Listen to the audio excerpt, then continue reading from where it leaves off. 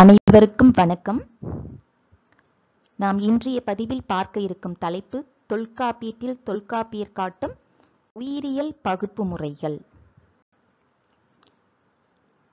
தொல்காப்பியர் பார்த்தீங்கன்னா பல நூறு ஆண்டுகளுக்கு முன்னாடியே உலகில் தோன்றிய அனைத்து உயிரினங்களையும் ஆறு பிரிவுகளாகவும் அவற்றின் அறிவு நிலையினை கொண்டு ஆறு வகையாகவும் வகைப்படுத்தி கொடுத்துட்டாருங்க.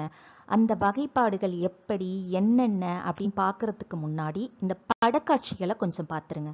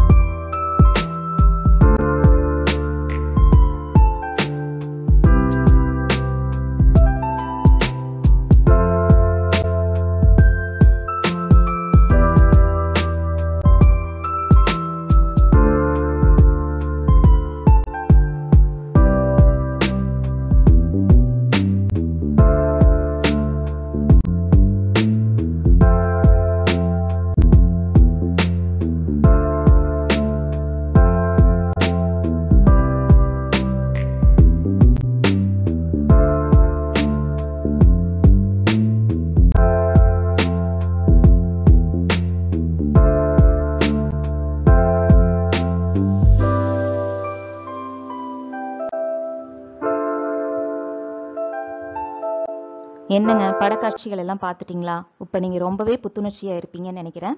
இதே புத்துணர்ச்சியோட நம்ம தொல்காப்பியர் எப்படி இந்த உயிரியல் பகுப்பு முறைகளை சொல்லியிருக்காங்க சொல்லிட்டு பார்த்துடலாங்களா முதலாவதா பார்த்தீங்கன்னா ஓரறிவு உயிரினங்களை பத்தி சொல்றாங்க. இந்த ஓரறிவு உயிரினங்கள் பார்த்தீங்கன்னா இந்த உடம்பினால் உலகத்தை அறியும் தன்மை படைத்தது. இந்த உடம்புனால என்னென்னலாம் தெரிஞ்சுக்கலாம் என்னென்ன தன்மையெல்லாம் தெரிஞ்சுக்கலாம்னு சொல்லிட்டு பார்த்தோம்னா வெப்பம் தட்பம் வன்மை மென்மை இது எல்லாமே தெரிஞ்சுக்கலாம். இந்த ஓரறிவு உயிரினங்கள் என்னென்ன? பார்த்தோம்னா புல் மரம் தாமரை கழுநீர். கழுநீர்னா பாசிங்க. குளத்துல பாழடைந்த குளம்லாம் இருந்துச்சுன்னா பாசி இருக்கும் இல்லைங்களா? அந்த குளத்தை வந்து பயன்படுத்தாம இருந்தாலும் பாசி படுறதுக்கும் அந்த பாசியும் ஓரறிவு உயிரினங்கள் தாங்க.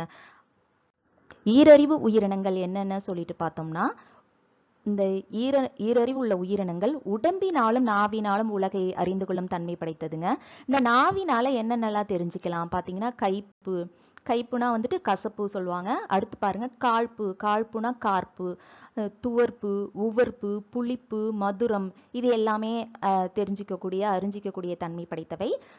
இதில் பார்த்தீங்கன்னா உடம்பினால் ஓரறிவு உயிரினங்கள் என்னென்ன தெரிஞ்சுக்குதோ அறிஞ்சிக்குதோ அனைத்தையும் அறிந்து நாவினால் பலவித சுவைகளையும் அறியும் தன்மை படைத்தவதான் இந்த இரண்டறிவு உள்ள உயிரினங்கள். இந்த ஈரறிவு உயிரினங்கள் என்னென்ன பார்த்தோம்னா நத்தை சங்கு சிப்பி கிளிஞ்சல்.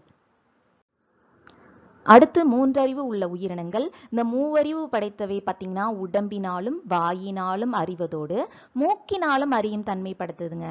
இந்த மூக்கினால் நன்னாற்றம் தீய நாற்றம் என்னன்னு சொல்லிட்டு நாம தெரிஞ்சுக்கலாம். இந்த மூன்றறிவு உயிரினங்கள் என்னென்ன பார்த்தோம்னா சிதல். சிதல்னா ஈசல் எறும்பு அட்டை. அடுத்து பாருங்க நான்கறிவு உயிரினங்கள். இந்த நான்கறிவு உயிர் அப்படின்னா உடம்பு நாக்கு மூக்கு ஆகியவைகளோடு கண்களாலும் உணரும் தன்மை படைத்தவை.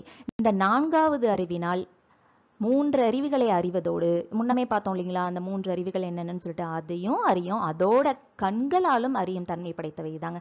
இந்த கண்களெல்லாம் நாம் என்னென்னலாம் தெரிஞ்சுக்கலாம்? நிறங்கள் அதாவது வெண்மை செம்மை பொன்மை பசுமை கருமை இதெல்லாம் அடுத்து பாருங்களேன் உருவங்களையும் தெரிஞ்சுக்கலாங்க.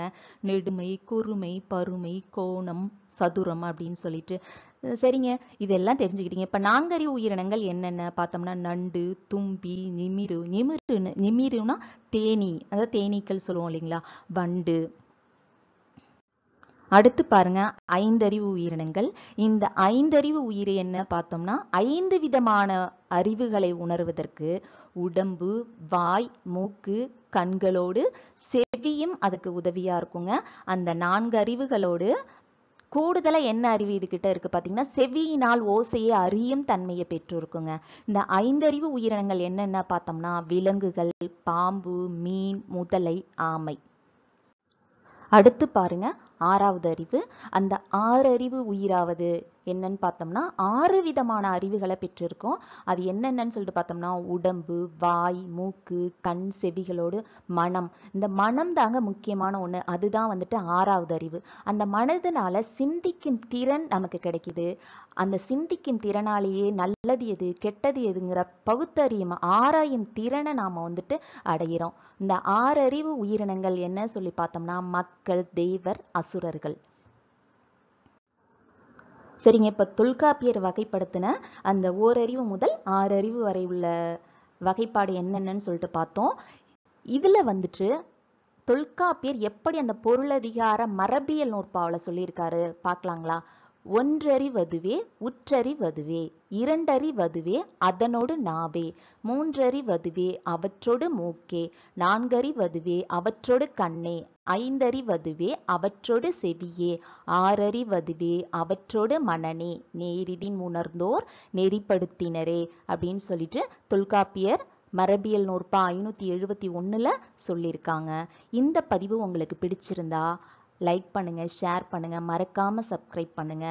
இப்போ பார்த்தீங்கன்னா கொரோனாவில் எல்லாருமே வந்துட்டு வீட்டில் இருக்கக்கூடிய சூழ்நிலையா இருக்கு. இந்த நேரத்தில் தான் நம்ம என்ன பண்ணணும்னா பயனுள்ள பல செய்திகளை தெரிஞ்சுக்கணும். பல நல்ல விஷயங்களை கற்றுக்கணும் அதே சமயம் நாம் ரொம்ப பாதுகாப்போடவும் இருக்கணும். தனித்திருப்போம் விழித்திருப்போம் தமிழால் இணைந்திருப்போம். நன்றி வணக்கம்.